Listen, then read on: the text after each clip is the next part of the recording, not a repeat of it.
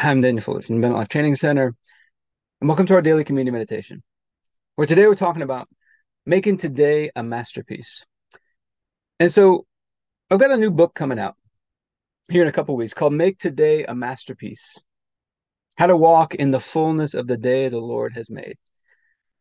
And just thinking about this book and the impact that we want it to make, making today a masterpiece. It's not about us making a masterpiece from our own strength, from our own effort, us doing better. It's taking a different approach.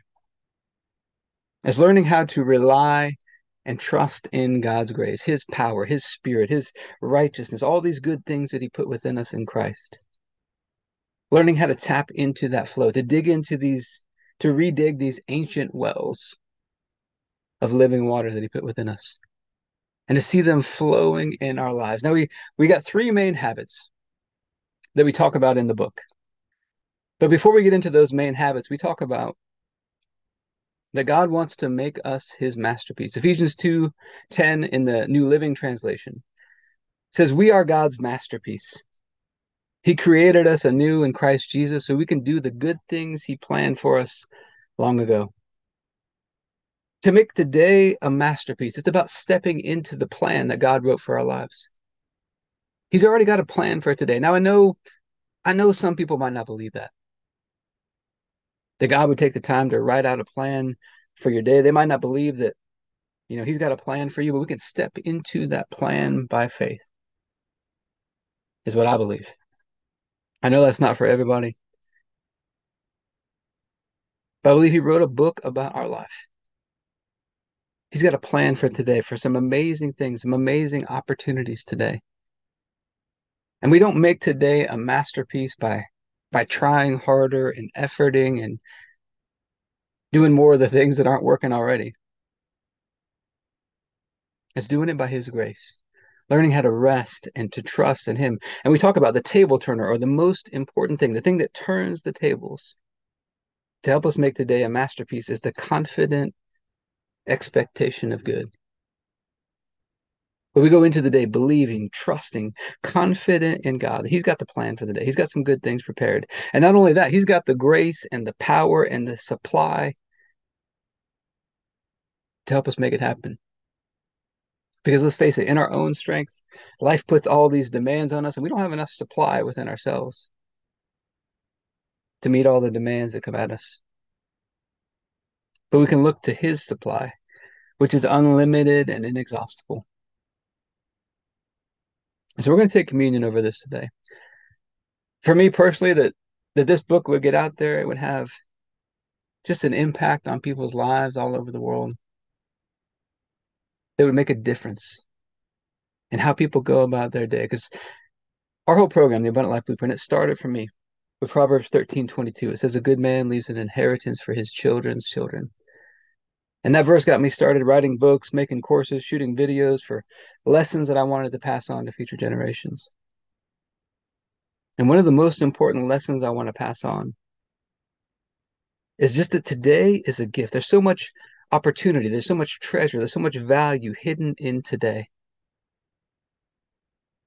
But I think we often miss it. We often overlook it. We just go through the motions of the day when this is the day that the Lord has made. We can walk in the fullness of that good plan that He wrote about for us. Now, I get it. This is not for everybody. But if you're looking to do things a different way, you're looking to get the most out of life, to walk with God in a in a closer way. I think this book will make a big difference.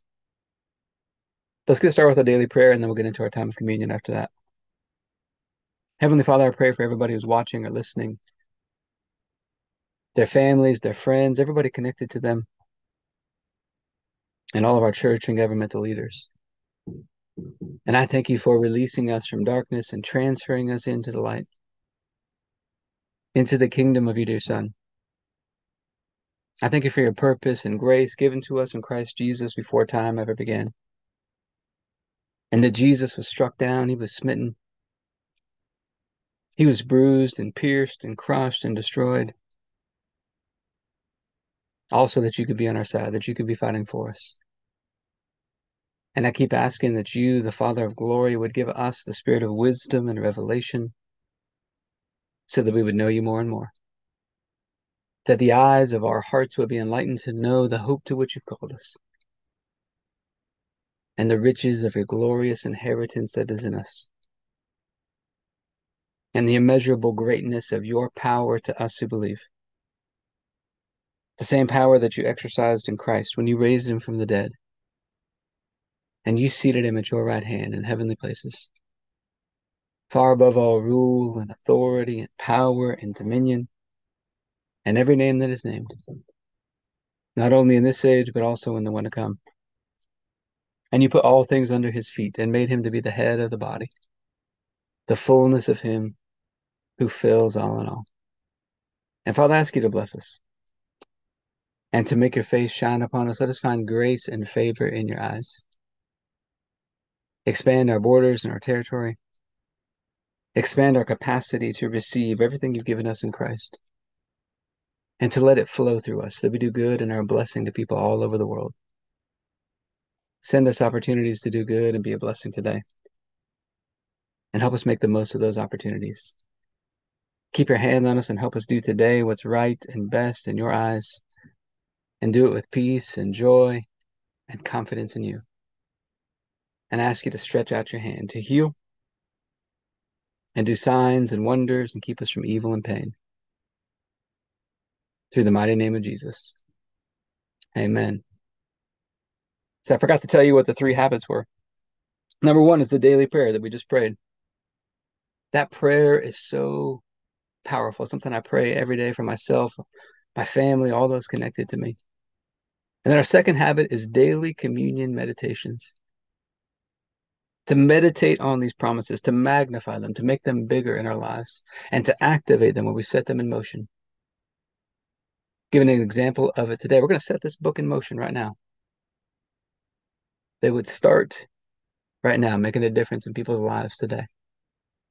And then our third one is daily exercising our faith. Physical exercise is meant to be kind of like a parable that teaches us how to exercise our faith, to walk in this good plan. And we talk about the principles for that. But it takes doing it a different way because the world has taught us a way of health and fitness that's not God's way. And so, Father, I thank you for this bread. And then on the night Jesus was betrayed, he took the bread and said, This is my body, broken for you. Do this in remembrance of me. We get this opportunity to remember, Father, you laid upon Jesus the punishment that we deserved. And by his stripes we've been healed. And so, Father, I thank you for this bread and ask you to bless it in Jesus' name. Let's go and take our bread.